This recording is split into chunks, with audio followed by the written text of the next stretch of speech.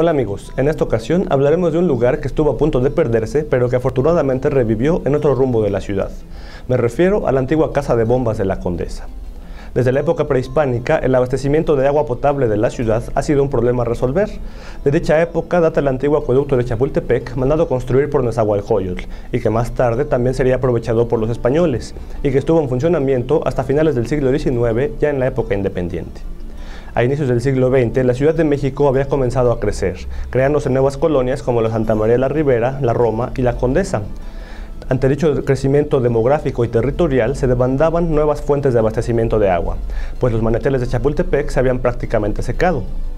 En 1901, el ingeniero Manuel Marroquín y Rivera presentó un estudio en el que indicaba que la solución al problema del agua de la ciudad estaba en los manantiales de Xochimilco, proponiendo extraer el líquido mediante modernas bombas eléctricas y llevarlo mediante un acueducto subterráneo hasta los depósitos de Molino del Rey, para de ahí distribuirla a la ciudad. El proyecto fue aprobado y la construcción inició en 1903. El acueducto llegaba a una casa de bombas ubicada en la naciente colonia Condesa, cerca del actual cruce de Alfonso Reyes y Patriotismo.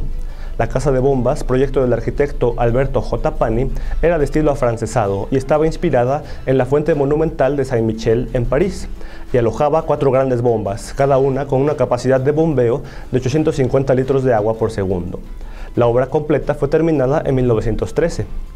Tanto el acueducto como la casa de bombas fueron funcionales hasta el año de 1950, cuando el crecimiento de la ciudad los volvió obsoletos. En los años 70, con la ampliación de avenidas y la construcción de los ejes viales, la casa de bombas de la Condesa fue demolida, rescatándose únicamente su fachada, la cual fue desmontada piedra por piedra y llevada al bosque de Tlalpan buscando convertirla en una bodega. Sin embargo, ello no se concretó y las piedras quedaron arrumbadas entre los árboles por varios años, hasta que en 1986 las autoridades investigaron su origen y decidieron reconstruirla para alojar una casa de cultura, encargándole el proyecto al arquitecto Pedro Ramírez Vázquez. Desafortunadamente, algunas piezas ya no se encontraron y tuvieron que ser reconstruidas en concreto. En 1988 se inauguró la Casa de Cultura de Tlalpan para alojar talleres, exposiciones, cursos, música y danza, además de convertirse en la sede de la Orquesta Juvenil de Tlalpan.